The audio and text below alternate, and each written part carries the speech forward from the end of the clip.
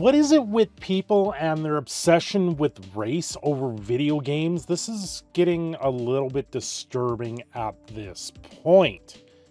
Today we're going to talk about a Fortnite senior programmer, Evan Kennedy, now saying that you can't discriminate against white people. Now, before I get fully into the video, subscribe to the channel. That's, that's all I'm gonna ask here. Subscribe to the channel. We've been covering a lot of this from community managers and now senior programmers and just overall generally people in the gaming industry that are just not nice people. These are not good things to see out there in the gaming industry and the idea of it is gross. Fortnite senior developer Evan Kennedy, or Kinney, latest video game employee to claim being racist against white people does not exist. This is getting a little bit out of hand. This is really out of hand, actually.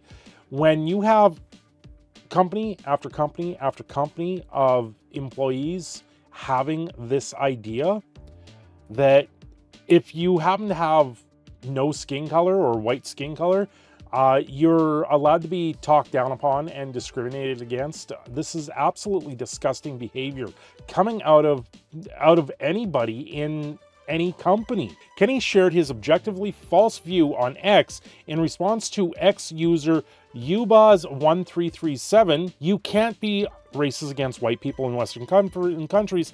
Super simple. A five second Google search shows why.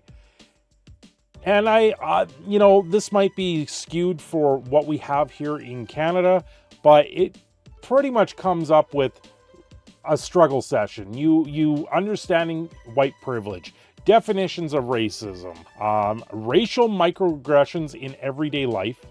In time, we will simply disappear. Why is racism really only an issue in Western countries? Why am I no longer talking to white people about race? Um, and then there was one here that I found a little bit even more discouraging. Whiteness Smithsonian Institute. Are you are, are you're you're kidding me? They have a whole display in in this sense. Stop and think, how does being white grant certain privileges? How might white people experience oppression through other social identities, class, gender, sexual orientation, religion, ability, etc.? this is a joke, right? This is a complete and utter farce of people, of saying that because your skin color is, happens to be white, you have extra privileges in the world. You don't. Uh, you, are as equal as everybody else out there. You're a human being. Um, let's see. I also got to say, I recently went to Vegas, and one of the things that you see walking the strip is you have people handing out CDs, demo tapes, these things down there. And I generally won't take them. I try to avoid anybody handing them out. But I got called, I, I got called a slur in the middle of uh, Vegas uh, because I was walking past someone that I didn't care. I turned around, I shook the guy's hand, I said, you know what, no thank you. I just don't want any of it. I don't want your CD. I don't want your demo tape. That was, and I was fine with that but it was it, it, was absolutely degrading to have that type of experience and that's where it is now. It was i was taken back a little bit. I was like why why in the world are you using this race baiting stuff to try and sell me your demo or or something like that? I was like no that's not what this is about. That's absolutely disgusting. I i found it very very disgusting. You simply you can't be racist against white people in a Western country. Yeah, you can. You can discriminate against anybody because discrimination is based on if you're discriminating against a person, it's based on race, it's based on gender, it's based on all these sub factors. Uh, nowhere in there it says, "Oh, this uh, white people are excluded from discrimination." Nowhere does it say that. In a follow-up, the user added, "This is just racial prejudice, bigotry, but you can't be racist against the majority race. Sorry, not a thing. Okay, so the majority race on Earth, um, is it uh, Chinese or, or uh, India?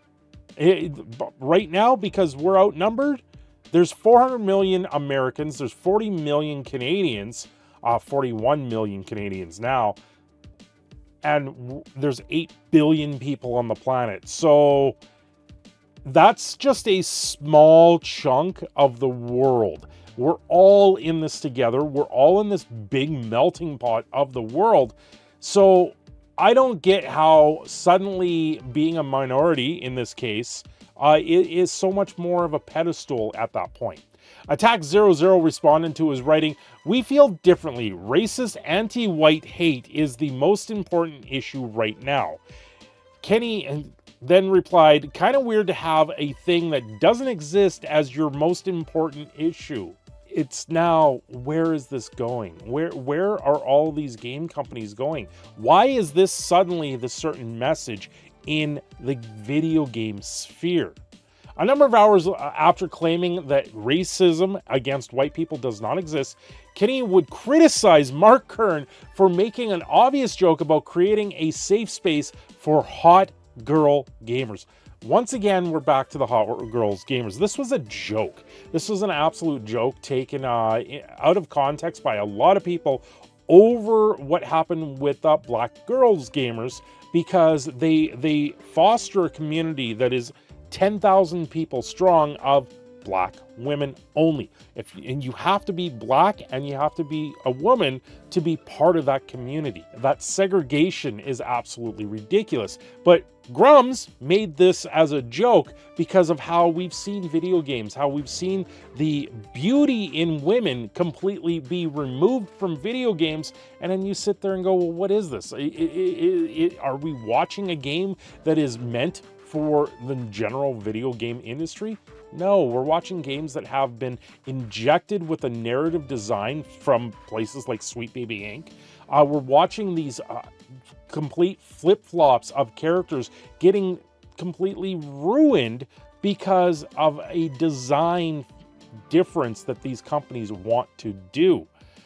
Kern posted we should start Hot Girl Gamers group to create a safe space for them to express their beauty. They've been shut out of the AAA gaming and marginalized, and it's time they get some love. Who would you nominate for board of directors? Kinney reacted to the uh, to this by accusing Kern of harassing his friends and colleagues. He wrote, At this point, I'm kind of convinced that Mark Kern is now a parody of himself. Just the JFC, what even is this crap? Stop harassing my friends and colleagues, he, he concluded.